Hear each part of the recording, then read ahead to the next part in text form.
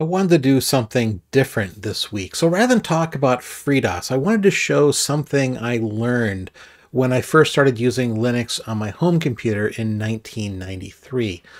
Now, I've talked about in other forums that I used MS-DOS throughout the 1980s and into the 1990s.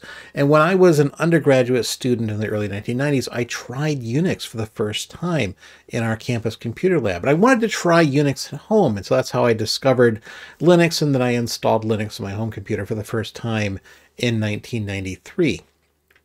Now I dual booted Linux with MS-DOS and I booted into Linux to do my Unix stuff. But in 1993, the problem was Linux didn't have a lot of apps. It was pretty much, you know, file managers and editors like, you know, GNU Emacs. Linux didn't have word processors. And what you're seeing on screen is word for DOS. DOS had tons of word processors, but Linux definitely didn't have a word processor like that. So what was I going to do as a student? If I needed to write a paper for class, well, I was going to dual boot back into MS-DOS all the time. But that was a little bit disruptive. If I wanted to experiment, how could I write a paper for class, an undergraduate paper, uh, using Linux tools? And so that's when I learned what I'm about to show you. So I learned how to use nroff and troff to write papers. And so here uh, you're seeing on the right hand side a terminal uh, that's kind of set up in sort of green screen mode. And that's what you would expect to see on terminals across campus. Uh, over here, I've got another terminal that's set up as 67 lines tall. And why do I have it in 67 lines? Well, because it's, it's 80 columns wide and 67 uh, lines long and that's because a printed page is 80 columns wide by 66 lines tall. And so I'm doing this uh, with 67 so that way you can see uh, all 66 lines of output and my prompt at the bottom of the screen doesn't actually like uh, get rid of the first line. So we can see an entire uh, page in that uh, teletype sort of terminal. So when I needed to write papers, I started to explore using nroff. And there's a really interesting history about uh, nroff. Let me go ahead and just start a paper here in uh, nroff. Uh, so if I open up a new file, and nroff doesn't care about extensions. And so we'll just call this one uh, sample. And so I'm editing this in the VI editor, and I can just uh, write some uh, paragraphs here, and I can say this is a, a uh, sample uh, paragraph or sample document. Um, and you don't actually have to put everything on one line and, and let the screen like wrap or anything like that. You can actually uh, just type uh, your document um, with uh, uh lines however you need them. and nroff will uh, what's called collect words and it will fill paragraphs. And so that means that it will always have uh, paragraphs that are filled all the way to the uh, to the full width of, of a page. And if you need to start a new uh, paragraph, you can certainly just add a blank line in here and just say this is a new uh, paragraph. Now, if I were to save that, and process that over here on my teletype terminal using nroff. Well, if I just do nroff on sample, uh, you can see that I've got an entire uh, page with my paragraphs uh, put up on there. But everything is starting on the first line of my printed page and everything is mushed up on the left-hand side of the uh, of the document. And so what I would actually do normally is I would set up a document, a new file called margins. And so we'll just say uh, page margins, where I would define the uh, line length as 60 and I would set up a page offset of 10. And so this is how you do instructions in nroff. Everything starts with a period on a, on a new line and then you have uh, usually one or two characters to indicate uh, an nroff instruction. And so dot .ll tells nroff this is the line length. And basically it's the text body uh, is going to be 60 characters wide and a page offset of 10 characters. And what that means is on a on a printed page where you have 80 columns, Well, if you've got 10 columns on the left that I got for my page offset, and then I've got 60 columns for my line length, well, 60 plus 10 is 70. That leaves 10 columns on the right. So basically what this does is it creates a 10 column left and uh, right margin. And so if I were to save that and then process my file using nroff on page margins and then uh, my sample document, it will actually create a left and right uh, margin. And so that was basically the, the, the, start of writing documents in nroff. You could also do other stuff, uh, like you could, uh, if I just edit my sample file again, uh, you can create a, uh, uh, you can space down a little bit. So we'll add some extra blank lines here. we'll add, let's say six blank lines. We'll do a temporary indent of five characters. Uh, and then down here, we'll do a uh, another uh, extra blank line. So without a number, it just does one line. And we'll do a temporary indent of five. And so temporary indents of five is a pretty standard way to write a document uh, for a uh, for a class. Basically, that's, that's an indented paragraph where the first line is indented. So if I uh, write that back, then I can process that again and you can see that now I've added some uh, vertical space at the top of my document and I've done temporary indents and things. And you could uh, create your own macros and things like that that would do paragraphs and titles and things like that. But it was actually so much easier just to learn an existing macro package. And so that's what I did. And so I learned uh, the ME macro package. And so let me show you a simple document written in the ME macros. And so I'm going to start a new file over here uh, called paper.me.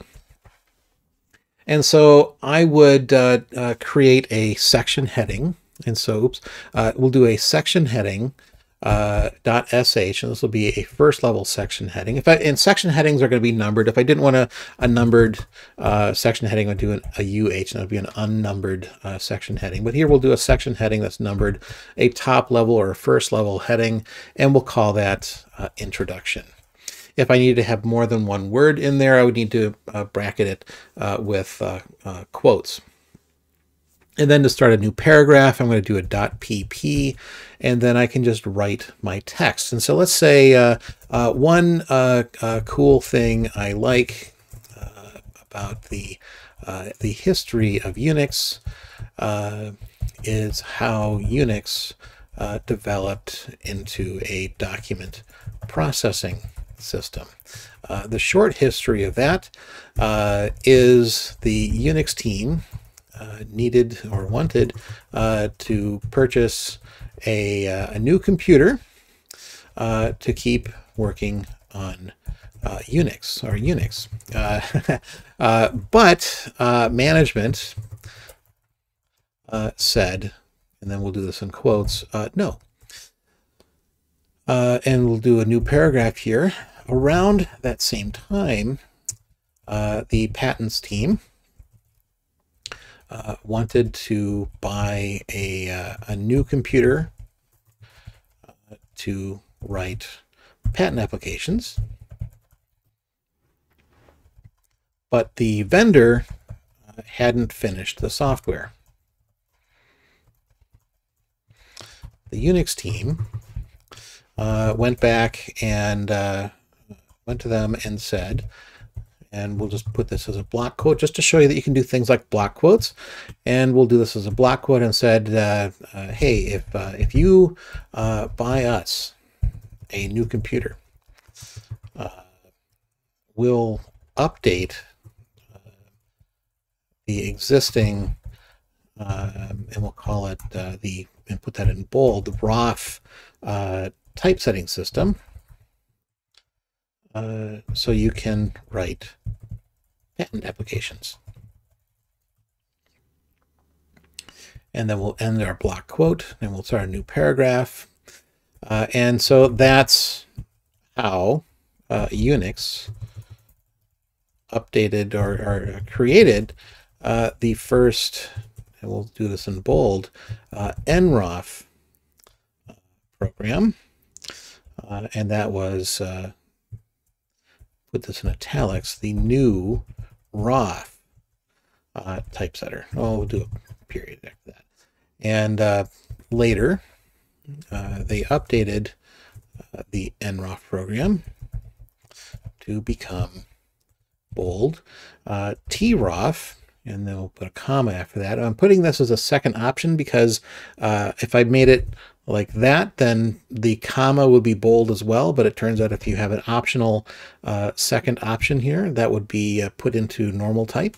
And so that's why I'm putting a space and then a comma. And then that would become uh, troff, uh, the, uh, and we'll put this in italics, the typesetter uh, version of ROFF. Uh, and that, oops, and um, and even later, and, and then um, uh, you know, so even later, um, B is the DITROFF, the device independent version of TROFF.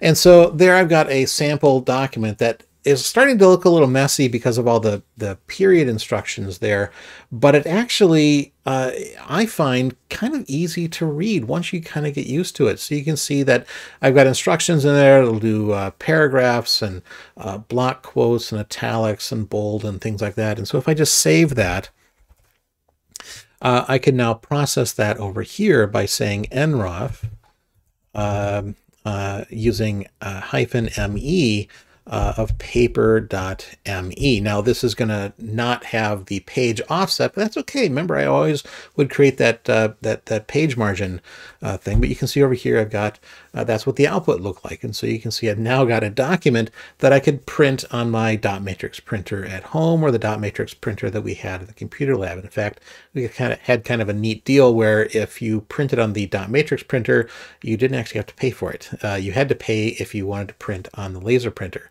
So if I needed to print a document for class, uh, I learned how to use uh, NROFF and I could write that in the computer labs uh, or I could write it at home and then upload it to the computer lab and then print it from uh, the computer lab uh, when I got onto campus. And by the way, if I did NROFF uh, hyphen ME and then my page margins and then my paper.me, that will create my my, my one inch margin on the left and the right. Now I can even do more with this. And so if I go back and edit my file, so uh, edit uh, paper.me, uh, I can actually add, if I uh, put a blank line up here, I can add, uh, call it a, a, uh, a, title page. And I can now center the, the next, let's say, we'll do the next five lines. And so first I'm going to do a bold title of my paper and then we'll add some extra spacing in here. We'll add uh, well, two lines of spacing. Actually, up here, I should probably add some spacing at the top. So we'll add some spacing, and we'll do like uh, six lines of space. All right, so then after my uh, adding some space in here. Now I need to have another line of output. So the CE5 is going to center the next five lines of printed output. So the blank lines don't count. And so here I'm going to put in uh, my name. And so I'll just say Jim Hall and then we'll add another blank line, SP, without an option that just adds an extra blank line. And then I'll uh, have the, uh, the class uh, number and then another blank line. And then uh, the um, uh, I need to have my instructor uh, name. Remember, this is what a, a, a, title page looks like for an undergraduate class. And then we'll do another uh, blank line and we'll have uh, the date. And so that should be uh, title of my paper plus the uh, my name, the class name, the instructor's name, and the date should be a, a new uh, or it should be five uh, lines of output. And then I'd probably want to create a, uh, a new uh, uh, page break. And so that's a, that's a blank page instruction. And that would create a title page. Now I would also want to have, and I usually did this right up here at the top, I'd want to have a page header and footer, but not in the first page. A title page doesn't create a page header and footer. And so I can create a page header that would have stuff, and I'm going to use this uh, with a, a, single quote. Uh, I could put some text, whatever I needed to, on the left. So uh, I will say left, and then centered, and then right. And I could do the same thing in the footer.fo. And I could do left. And if I didn't want to have anything in the center, I would just have a blank uh, space there in the quotes. And if I wanted to have a page number, I could just use a percent, and that would insert a page number. And then another thing I need to have in a uh, uh, in an academic paper is once I've started a new page down here, I'll need to make this uh, line spacing of two. So I'm now going to set double spacing on my document.